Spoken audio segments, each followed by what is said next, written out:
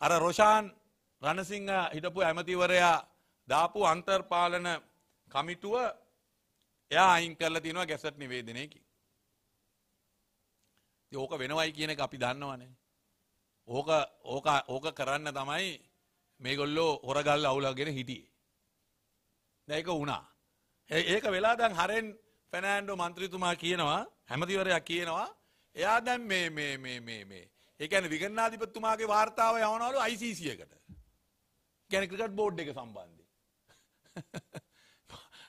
Cricket board එකේ සම්බන්ධයෙන් මේ විගණනාධිපති වාර්තාව මොකටද ICC එකට යවන්න මොනා කරන්න? ජාත්‍යන්තර අධිකරණයේ නඩු දාන්නද?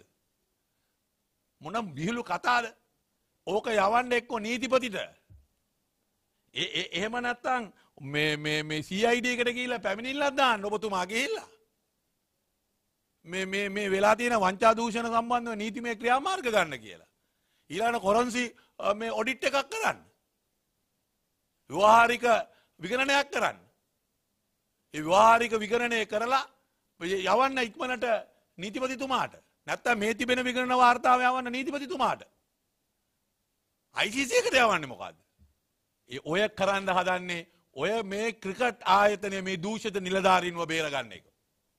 ඕක තමයි ඔය කරන ඕක තමයි කරා ඕක තමයි වෙන්නේ කියන එක අපි කලින් කිව්වා.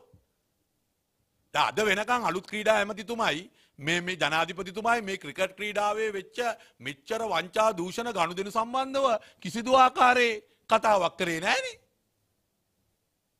නිශ්ශබ්දවනේ ඉන්නේ. ඇමතිතුමාව අයින් කරා.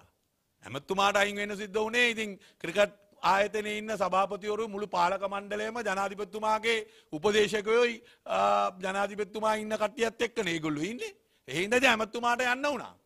ඒකයි මම කිව්වේ රනිල් වික්‍රමසිංහ ජනාධිපතිවරයා කවදාක්වත් වංචා දූෂණ නවත්තන්නේ නැහැ.